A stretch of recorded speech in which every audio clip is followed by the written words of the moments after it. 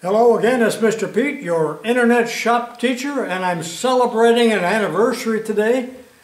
15 years ago today, in my very first video in about 2009, I worked on the Atlas lathe and I showed how to set your work up in a four-jaw chuck using the two-key or the two-hand method.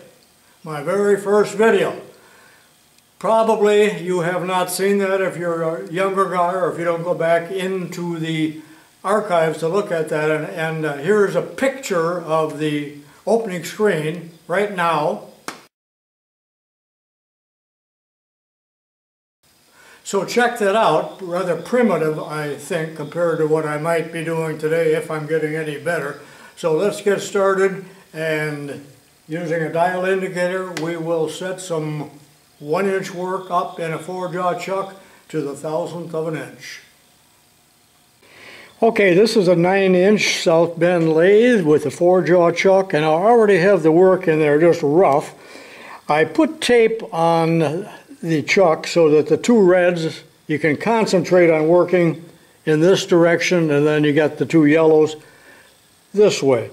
Now I'm sure that many of you do not have two chuck keys in the right size, but the whole gist of this is to set your keys opposite one another and with the indicator in place, move the jaws and the work back and forth until you zero it out, then come over to the red and do that. These are a little bit clumsy because they interfere with the bed of the lathe and this lever right here and other things. So over the years I have made several sets of these knobs and this is just quarter inch square in some scrap knobs. I don't know where I got them and that just works perfectly if you can imagine. And I have made other sets of these over the years. There's a hexagon set for one of my other chucks. So this might be a good project for you. Pretty simple. They do not have to be hardened, although these are Allen keys, but this is just soft steel. I'm not sure what kind of indicators you have or what kind of indicator stands, but there's a little articulated fake Noga that does fit on these smaller machines, but the bigger holders just are very awkward. This would work fine, however, I'm not going to use it. I'll show you what I will use.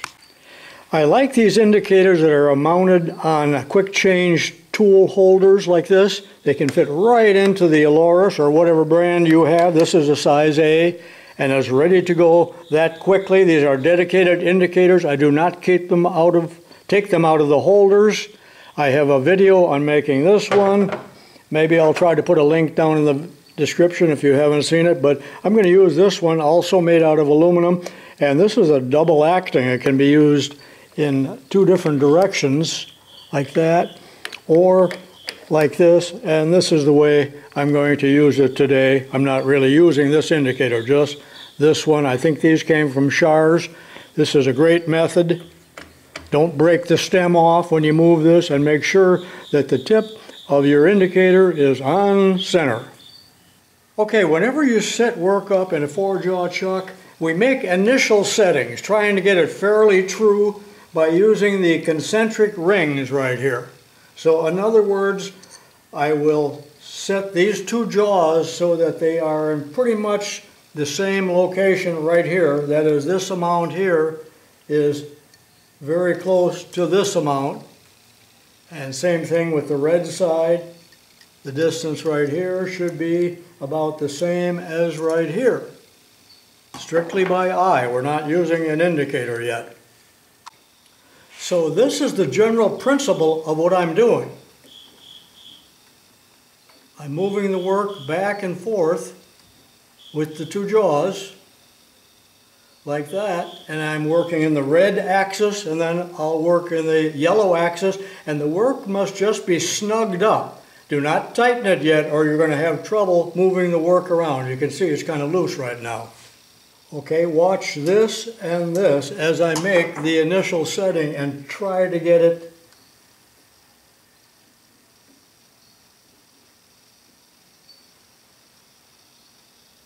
Does that look about right? Now let's do the yellow.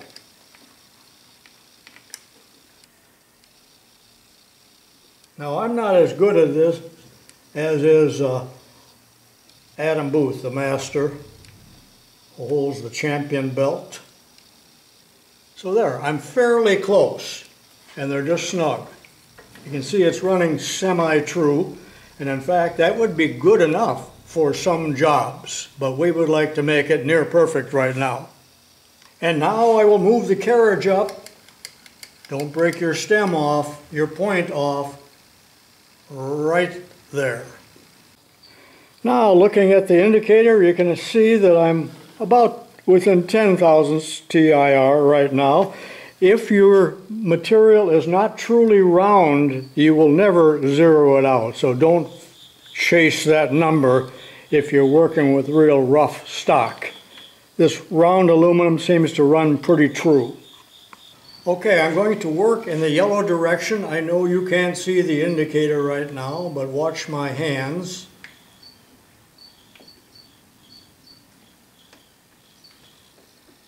Fairly close. Now I'll work on the red.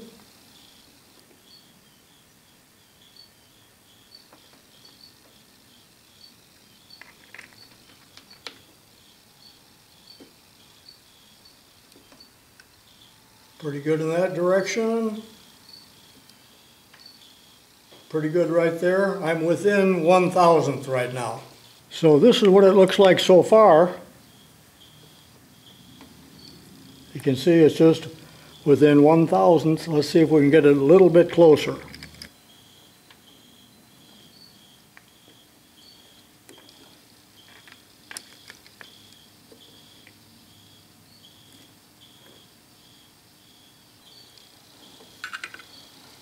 Okay, I'm in one, within one thousandth TIR right now.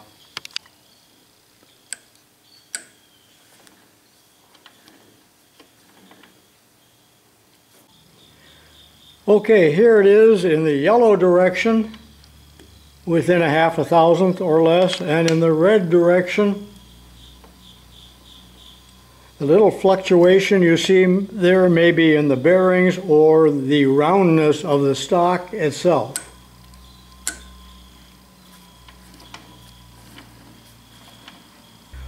Okay, up to this point I've been using the red knobs as I showed you and it worked incredibly well. However, they are not all that tight yet because there's no leverage with these little inch and a half knobs.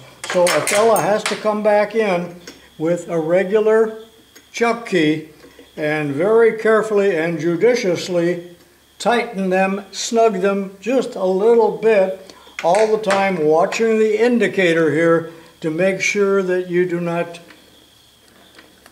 cause any inaccuracies. In other words, I had it about perfect and I do not want to make it imperfect with the big key. Now, if you've never done this before, it will take a little practice, but I think you will find it very convenient and useful. If you do, leave a comment. This is Mr. Pete saying so long for now. I hope you enjoyed my anniversary edition.